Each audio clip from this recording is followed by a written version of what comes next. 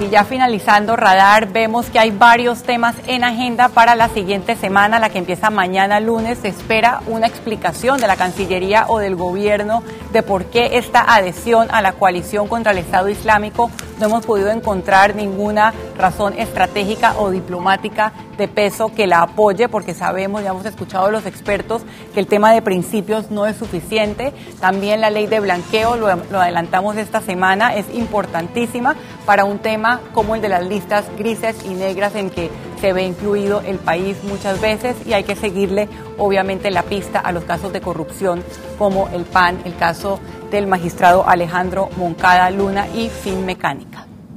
Bueno, esos son los adelantos que tienes para la otra semana. Sucederán algunas otras, algunas otras cosas que quizás no tengan explicación.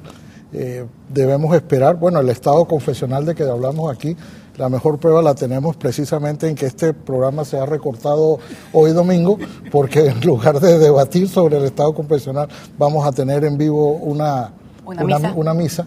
Y por, y por otro lado, yo creo que el haberte adelantar lo que viene la otra semana se ha convertido casi en una norma este programa.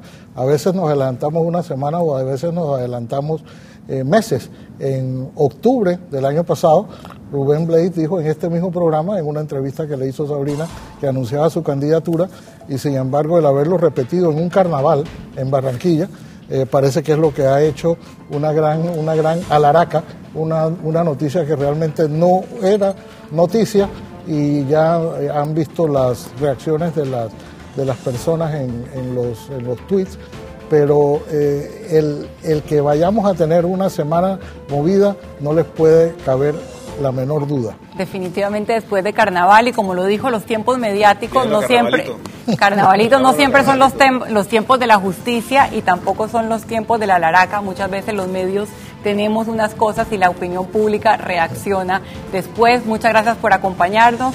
Sigue la misa del cardenal Lacunza.